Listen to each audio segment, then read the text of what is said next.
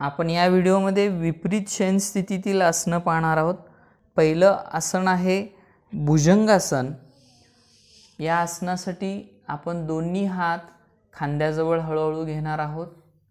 श्वास घेत हळूहळू मान वर करणार आहोत. कमरेमध्ये थोडासा बेंड होणार आहे. अजून थोडंसं वर आपण शरीर घेणार आहोत. अजून थोडं. हळूहळू श्वास सोडत मान खाली घेणार आहोत. हात मूळ स्थितीमध्ये जाणार आहेत. हे आसन आणखीन एकदा आपण करणार आहोत.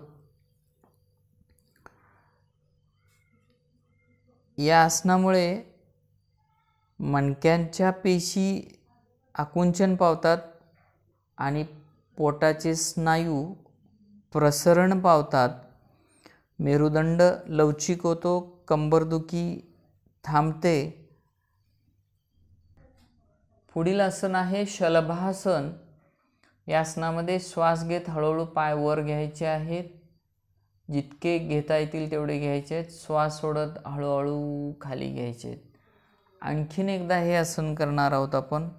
श्वास घेत हळूहळू पाय वर जेवढे घेता येतील तेवढे श्वास सोडत हळूहळू खाली. या आसनामध्ये शलभ म्हणजे टोळ त्याच्या शरीरासारखी रचना होते म्हणून याला शलभासन असं म्हटलेलं आहे. याच्यामध्ये फुफ्फुसाची क्रिया चांगली होते आणि कंबरदुखी थांबते पोटाचे विकार नाहीसे होतात या आसनामुळे. पुढील आसन आहे धनुरासन. यासाठी पहिल्यांदा दोन्ही पाय मागून दुमडायचे आहेत. दोन्ही घोट्यांना दोन्ही हाताने पकडायचं आहे. आणि श्वास घेत शरीर या स्थितीमध्ये आणायचं आहे. धनुरासन याचा अर्थ धनुष्यासारखी शरीराची स्थिती होते. श्वास सोडत हळूहळू आसन सोडायचं आहे. परत एकदा हे आसन करायचं आहे. पाय सरळ परत पाय दुमडून जवळ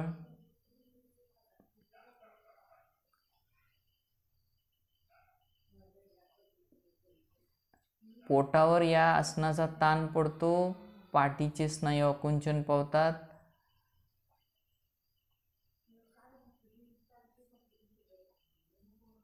पाय हळूहळू सरळ करायचे आहेत. पुढील आसन आहे मकरासन. या हे जे आसन आहे हे आसन सर्व आसनं झाल्यानंतर विपरीत शयन स्थितीमधली की हे आसन करायचं आहे. प्रथमतः एक एक हात दुमडून समोर घ्यायचा आहे. एकमेकावर ठेवायचं आहे. हाताची घडी गाठल्याप्रमाणे मान एका बाजूला टेकवायचे आहे. पाय रिलॅक्स दोन्ही बाजूला घ्यायचे आहेत. डोळे झाकायचे आहेत. आणि हळूहळू दीर्घ श्वसन करायचं आहे. शरीराचे शरीराचा प्रत्येक स्नायू हळूहळू शिथिल करायचा आहे. याच्यामुळं शरीर व मनावरचा ताण कमी होतो. शरीरातील स्नायू तणावविरहित होतात आणि प्रत्येक अवयवाची कार्यक्षमता वाढते. हळूहळू हे आसन सोडायचं आहे.